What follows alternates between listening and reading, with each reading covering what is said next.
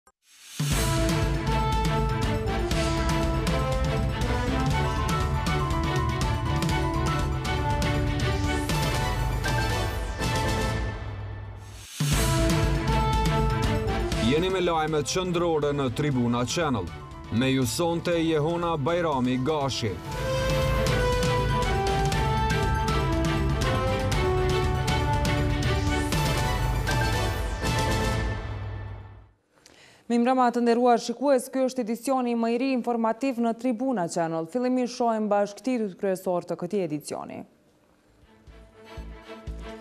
Dorëzohet Azem Syla, nis procesi ndaj tij. Brukseli e quan shembull aksionin e përbashkët policor. Dështon për herë të dytë seanca në mungesë kuorumi, koalicioni në telashe edhe pa opozitën. Qeveria e Kosovës dhe ajo e Shqipërisë do të takohen në Prishtinë, mbledhja kombëtare pritet të mbahet më 3 qershor. Kryetari i Graçanicës, Vladeta Kostiç flet në Eurotribuna, thotë se Asociacioni i Komunave Serbe s'e ka rolin e Republikës.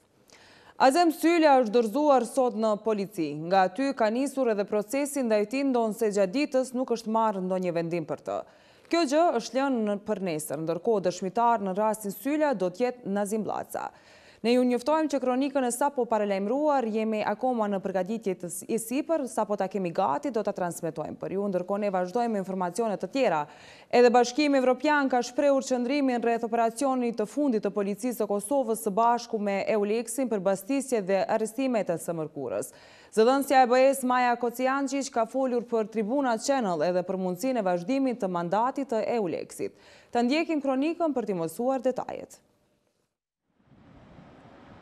Operacioni i fundit i Policisë së Kosovës së bashku me misionin e Bashkimit Evropian për sundimin e ligjit në Kosovë, EULEX, sipas Bashkimit Evropian është një shembull i shkëlqyer i bashkëpunimit. Ky operacion ka të bëjë me veprat penale të krimit të organizuar, pastrim parash, keqpërdorim të pozitës zyrtare, falsifikim të dokumenteve zyrtare, dhënie dhe marrje të ryshfetit. Bëhet fjalë për rreth treqind e pesëdhjetë policë, që kanë bastisur rreth dyzet lokacione. që lidhen me dyzet të dyshuar të një hetimi penal që është duke vazhduar, në krye të cilëve qëndron ish-deputeti i PDK-së Azem Syla. Operacioni i fundit Policia e Kosovës EULEX është një shembull i shkëlqyer se si autoritetet për sundimin e ligjit në Kosovë dhe EULEX punojnë së bashku në luftën kundër krimit të organizuar dhe korrupsionit, Është shprehur për Tribuna Channel zëdhënësja e Bashkimit Evropian Maja Kocijançiq. Por, përfaqësues të shoqërisë civile e kanë quajtur spektakël këtë që ka bërë EULEX-i, duke e lidhur me përfundimin e mandatit të këtij misioni në Kosovë dhe duke e parë si presion ndaj institucioneve vendore për t'ia zgjatur mandatin. Sa i përket mandatit të EULEX-it, Kocijançiq nuk e mohon vazhdimin e tij, duke thënë se diskutimet për të ardhmen e EULEX-it janë duke vazhduar me autoritetet e Kosovës në njërën anë dhe shteteve anëtare të Bashkimit Evropian në anën tjetër. Fokusi kryesor i këtyre diskutimeve janë në forcimin e gjyqësorit të Kosovës në fushën e luftës kundër krimit të organizuar dhe korrupsionit të nivelit të lartë. Raporti për Kosovën i vitit dy mijë e pesëmbëdhjetë i Komisionit Evropian përcakton qartë se gjyqësori ende ka nevojë për progres të mëtejshëm, veçanërisht në këto fusha, është shprehur Kocijançiq. Për mundësinë e rishikimit të mandatit të EULEX-it është bërë e qartë edhe në konkluzionet e Këshillit të Bashkimit Evropian për Kosovën rreth liberalizimit të vizave në fund të vitit të kaluar. Deri në qershor, gjyqtarët dhe prokurorët e Eulexit merren me rastet që kanë të bëjnë me krimet e luftës, terrorizmin, krimin e organizuar dhe korrupsionin e nivelit të lartë dhe krime të tjera të rënda.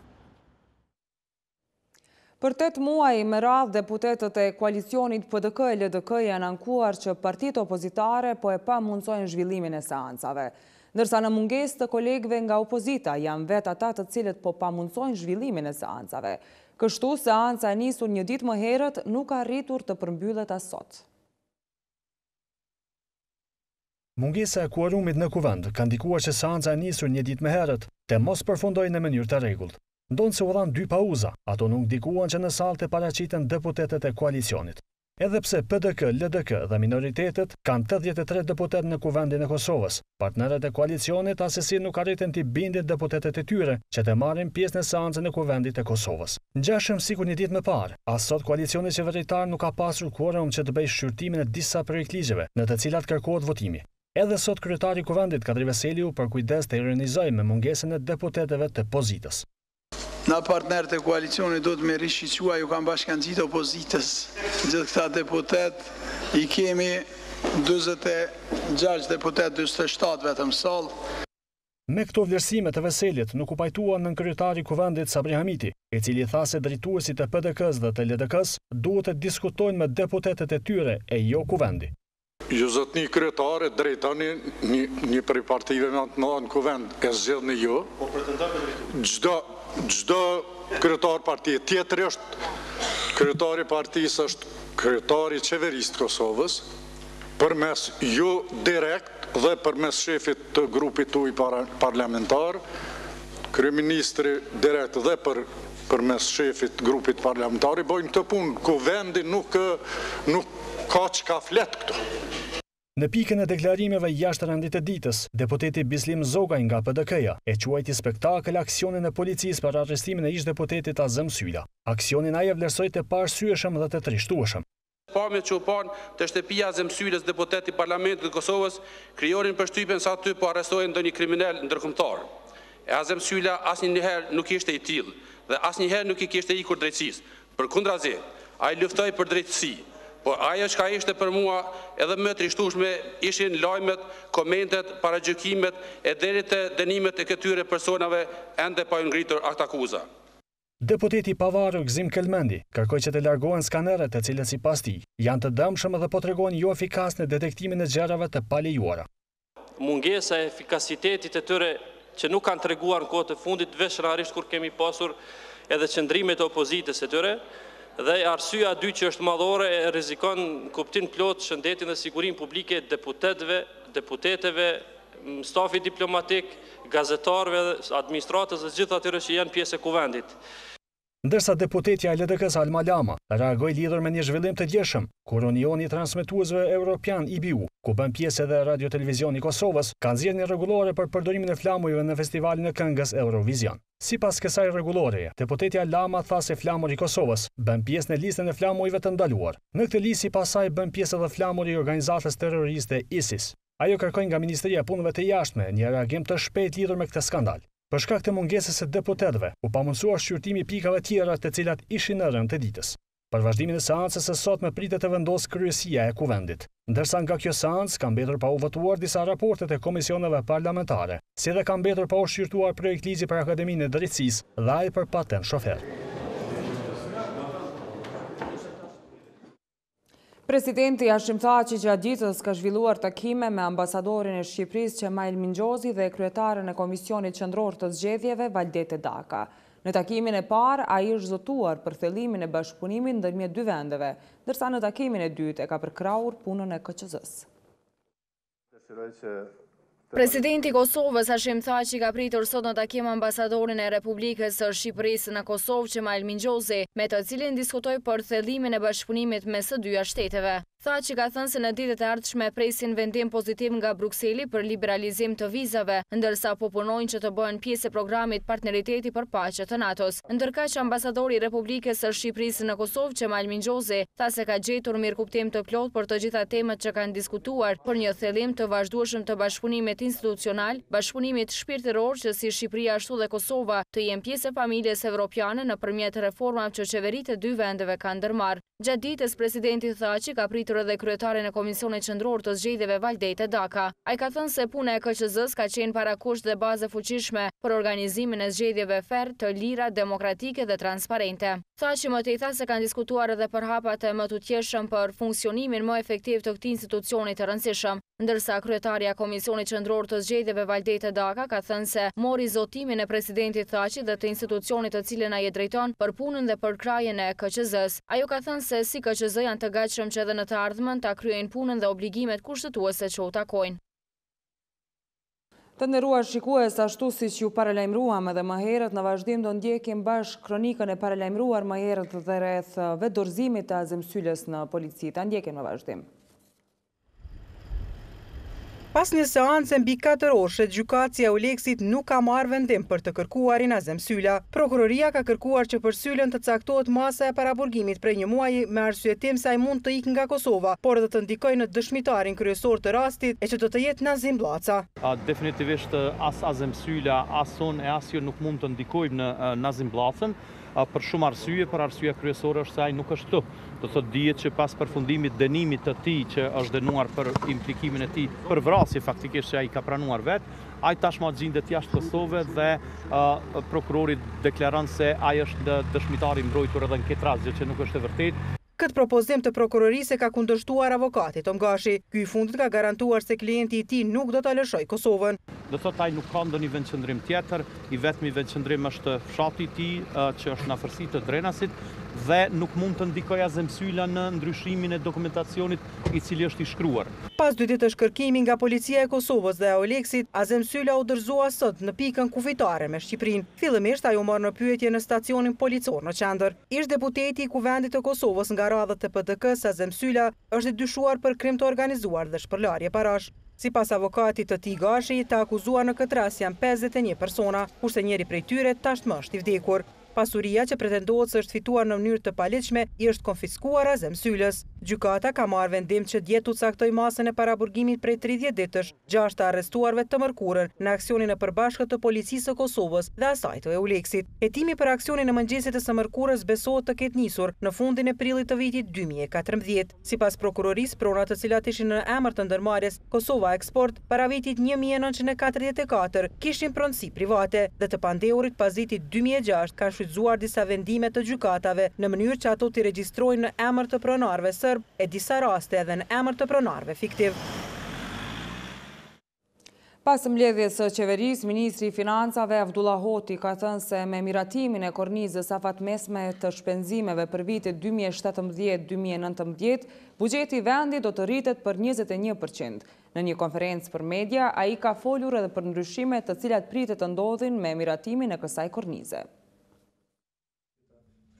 Me aprovimin e kornizës afatmesme të shpenzimeve për vitin dy mijë e shtatëmbëdhjetë dy mijë e nëntëmbëdhjetë, parashihet që buxheti i vendit të rritet për njëzet e një për qind krahasuar me buxhetin e tanishëm. Kështu bëri të ditur ministri i Financave Avdullah Hoti menjëherë pas mbledhjes së qeverisë në një konferencë për media. Kjo është korniza e parë që dorëzohet në qeveri në format të ri, me planifikim sektorial në dymbëdhjetë sektorë të qeverisë qendrore dhe ka disa elemente që dallojnë këtë kornizë nga vitet e kaluara.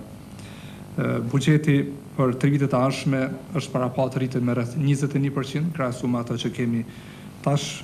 Ndryshimet substanciale në këtë kornizë janë klauzola e investimeve, pra në bazë të marrëveshjes që kemi me Fondin Monetar Ndërkombëtar dhe ndryshimin e Ligjin e Financave Publike që e kemi bërë në fund të vitit të kaluar. Ai ka folur edhe për ndryshime tjera të cilat do të ndodhin me miratimin e kësaj kornize. Një ndryshim tjetër Dhe e re në këtë kornizë është buxheti që tanimë është parashikuar për fillimin e implementimit të të sigurimeve shëndetësore nga janari i vitit dy mijë e shtatëmbëdhjetë. Buxheti është është parashiku dhe është shpërnda nëpër ministritë përkatëse për të mbulu koston e sigurimeve shëndetësore në bazë të përgatitjeve që është duke bërë Ministria e Shëndetësisë.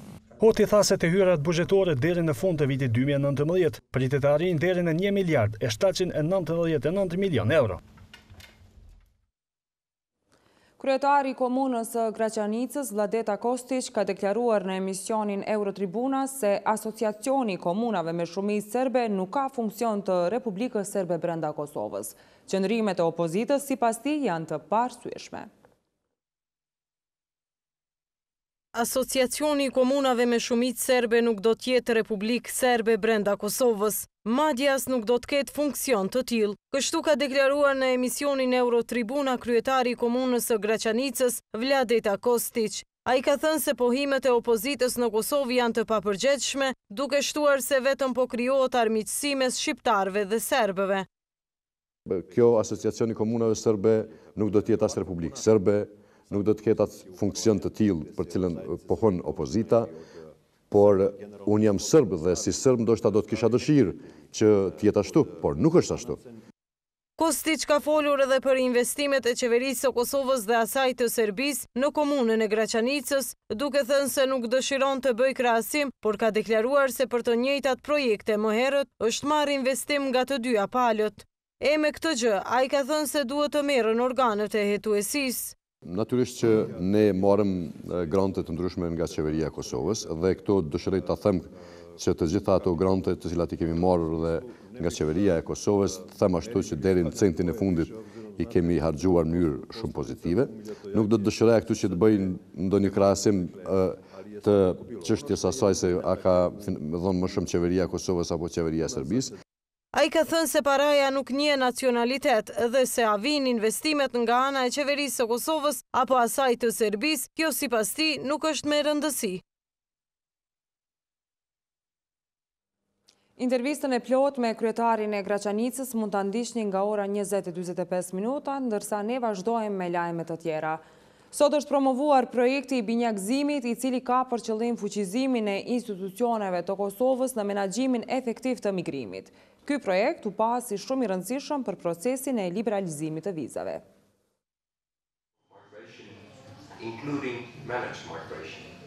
Është promovuar projekti i binjakëzimit, i cili ka për qëllim fuqizimin e institucioneve të Kosovës në menaxhimin efektiv të migrimit. Ky projekt u pa si shumë i rëndësishëm për vendin për integrimin në Bashkimin Europian. Ministri i Punëve të Brendshme, Skender Hyseni tha se binjakëzimi do t'ju dalë në ndihmë institucioneve përkatëse të Kosovës që të përballen me çështjen e migrimit të parregullt. Këtë projekt binjakëzimi unë po e quaj program i përkrahjes të vendeve të Bashkimit Evropian individualisht po edhe të Komisionit Evropian si tërësi. për t'i dalë në ndihmë institucioneve përkatëse të Republikës së Kosovës që të përballen me çështjen e migrimit të parregullt, të fuqizohen më tej institucionet e specializuara që me sukses të trajtojnë këtë problem. Kristof Stok nga Zyra e BE-së në Kosovë tha se ky projekt ndikon edhe në procesin e liberalizimit të vizave dhe u del në ndihmë qytetarëve kosovarë të kthyer nga vendet e huaja. Ky projekt mendoj se është krucial i liberalizimit të vizave, që preku edhe ministria. Projekti i binjakëzimit është po ashtu kompetent, që i prek projektet e binjakëzimit dhe i përkushtohet rritjes së kapacitetit në fushën e reintegrimit të të kthyerve dhe aktiviteteve shtesë që po ashtu janë të përfshira në institucionet që merren me këtë çështje. Po ashtu drejtori gjeneral i Shërbimit për Migrim i Holandës, Rob van Lint, tha se ndihet i nderuar që Holanda do ta udhëheqë këtë projekt kaq të rëndësishëm. Jam shumë i nderuar që Holandës i është dhënë ky projekt i rëndësishëm, sepse çështja e migrimit është një hap i rëndësishëm që Republika e Kosovës duhet ta kryejë me sukses për rrugën e saj drejt integrimit në BE. Projektin e binjakëzimit do ta zbatojnë Holanda, Suedia dhe Austria, ndërsa si partnerë do të jenë Polonia dhe Latvia, përderisa Holanda do të jetë udhëheqëse e këtij projekti.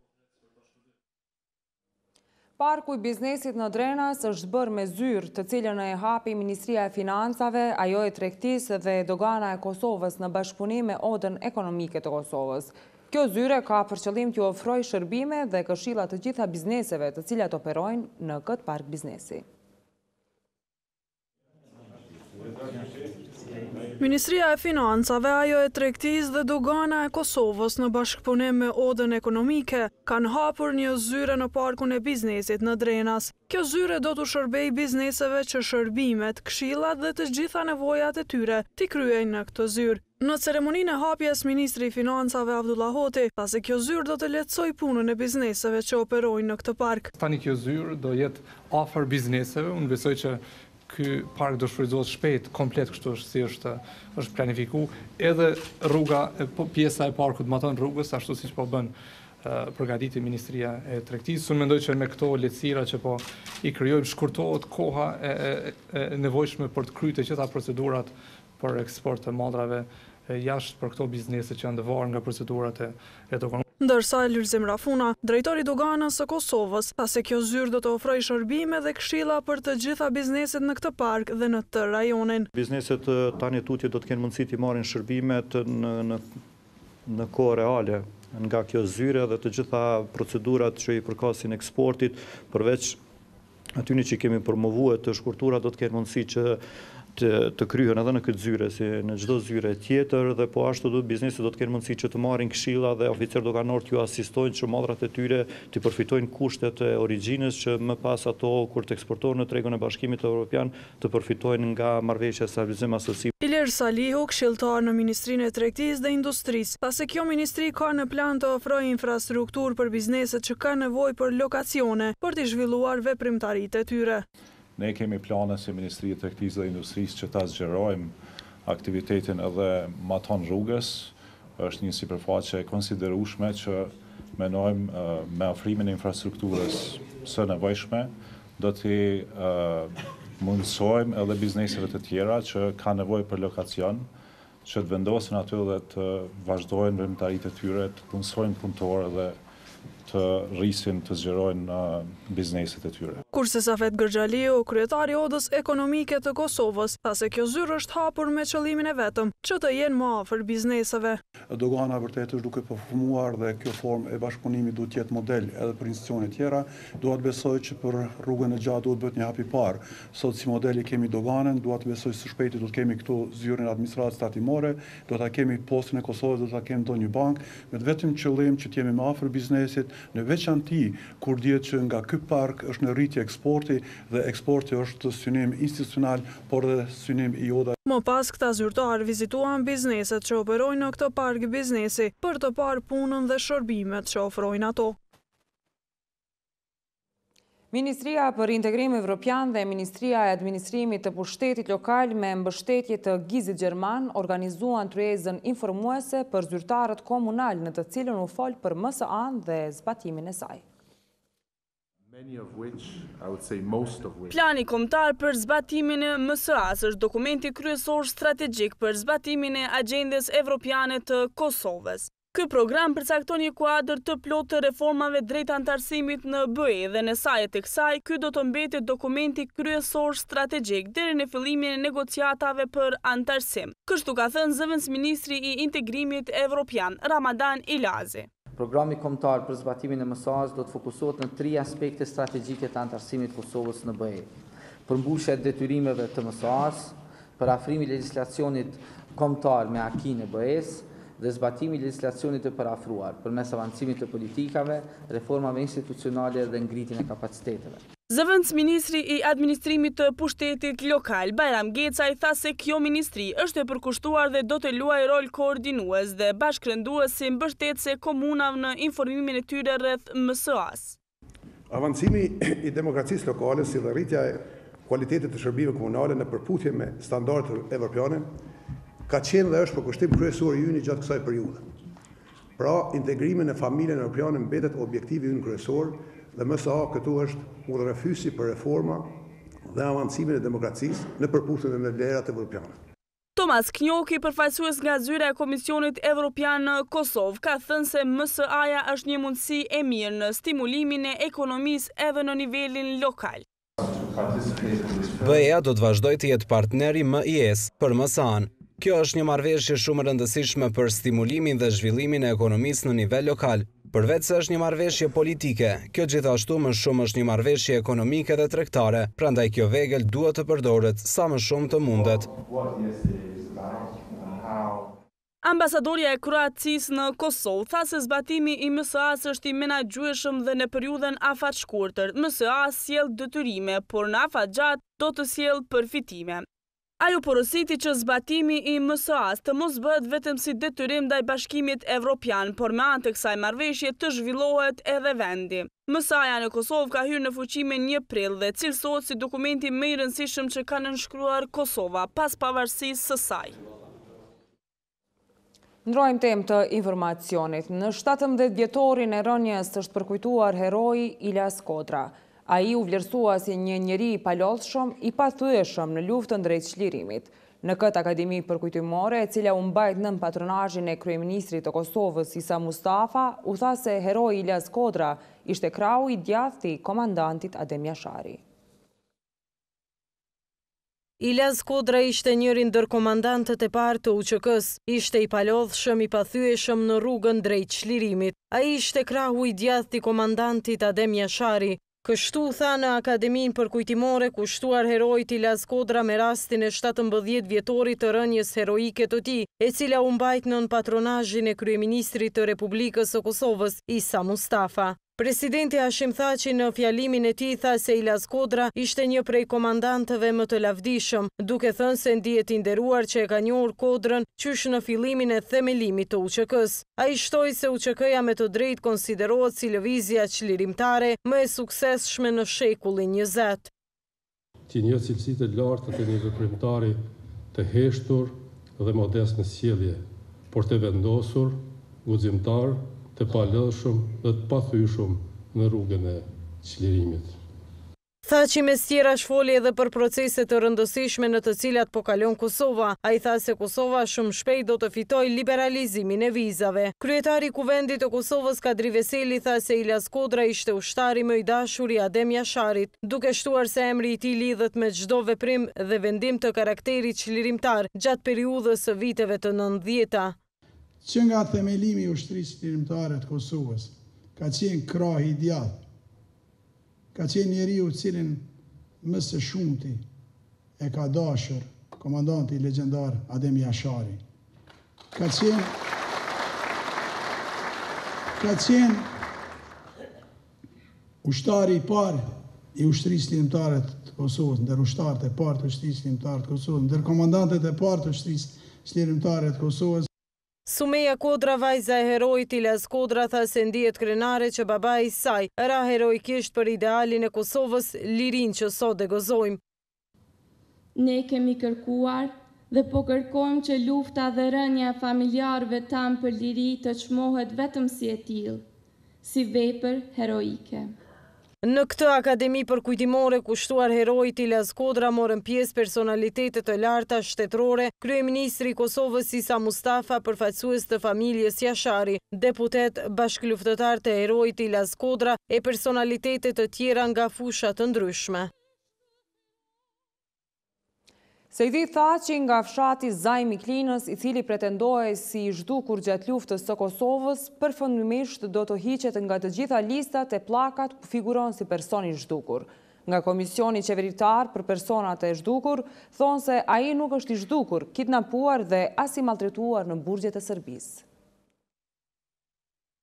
Sejdi Thaçi i lindur në vitin një mijë e nëntëqind e tridhjetë e gjashtë, i cili u largua nga Kosova në janar të vitit një mijë e nëntëqind e nëntëdhjetë e nëntë dhe i cili u kthye në fshatin e tij në Zajm të Klinës pak ditë më parë, përfundimisht do të fshihet nga të gjitha listat dhe pllaka ku emri i tij figuron si person i zhdukur gjatë luftës. Kryetari i Komisionit Qeveritar për Personat e Zhdukur, Prenk Gjetaj, ka thënë për Tribuna Channel se Sejdi Thaçi nuk është i zhdukur, as i kidnapuar e madje as i maltretuar ngase ai nuk ka qenë në burgjet serbe.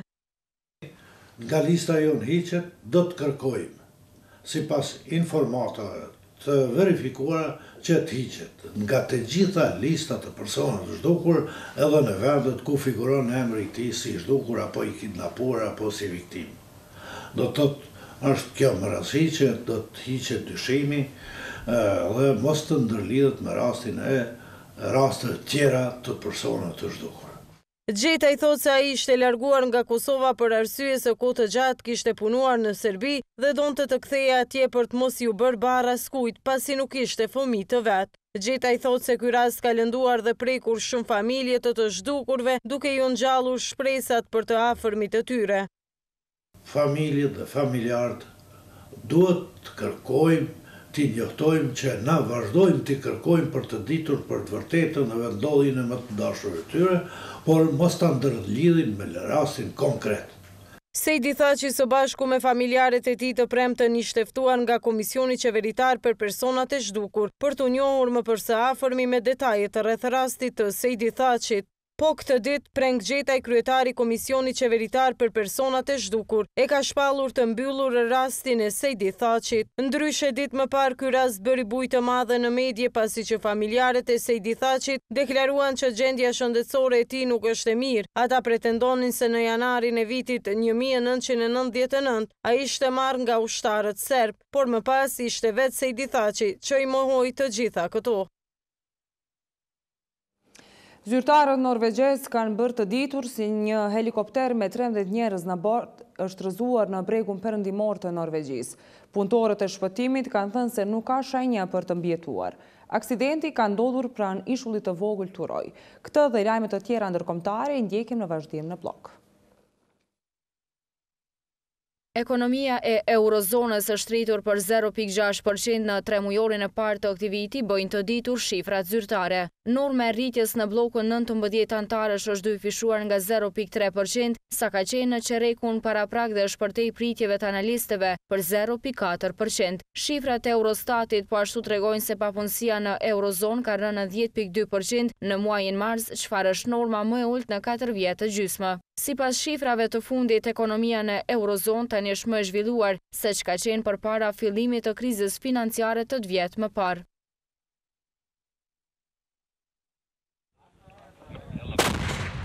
Luftime vdekjeprurëse janë zhvilluar në qytetin e ndarë të Sirisë Alepo. Media shtetërore raporton se rebelët kanë sulmuar një xhami në qarkun Bab al-Faraj, që kontrollohet nga forcat qeveritare duke vrarë tetë veta.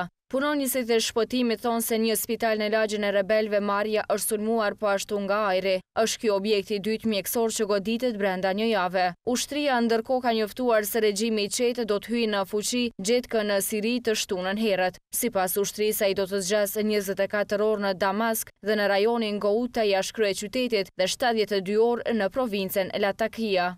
Regjimi i qetë nuk përmendet për Alepon ku mbi dyqind civilë janë vrarë gjatë javës së fundit. Kemi arritur në fund të këtij edicioni informativ. Për më shumë informacione, vizitojeni uebfaqen gazetatribuna.com. Ju falimderit për vëmendjen, bashkë mirupafshim.